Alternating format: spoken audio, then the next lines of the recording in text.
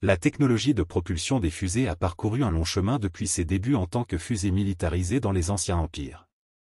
Alors que ces fusées primitives n'étaient que des flèches et des lances propulsées par des fusées, elles ont posé les bases de nos efforts d'exploration spatiale. Au fil des ans, nous avons été témoins du développement de méthodes de propulsion plus avancées telles que les propulseurs à combustible liquide, les moteurs ioniques et les voiles solaires. Maintenant, une équipe de chercheurs a fait un bond significatif en avant avec la création d'un système de propulseur de la taille d'une paume qui pourrait révolutionner la propulsion des minuscules engins spatiaux.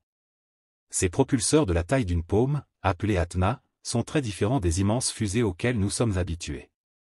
Contrairement à la fusée Saturne V qui s'élevait à 110 mètres et a transporté les astronautes Apollo sur la Lune, les propulseurs Atna sont spécialement conçus pour manœuvrer et propulser des CubeSats et de petits satellites dans l'espace.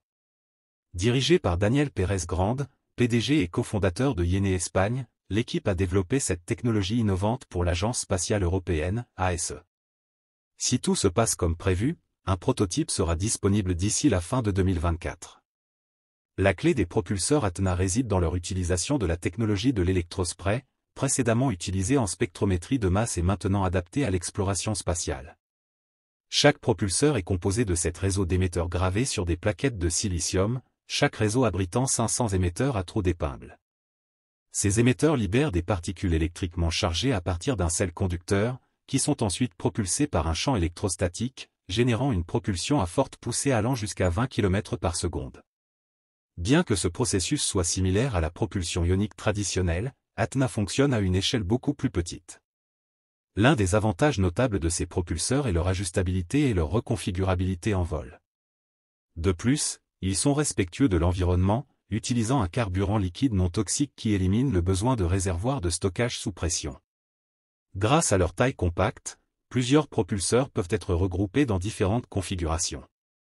Par exemple, un CubeSat typique de 10 cm ne nécessite que 6 propulseurs, tandis que des satellites plus grands et des sondes pesant jusqu'à 50 kg peuvent être équipés de propulseurs groupés.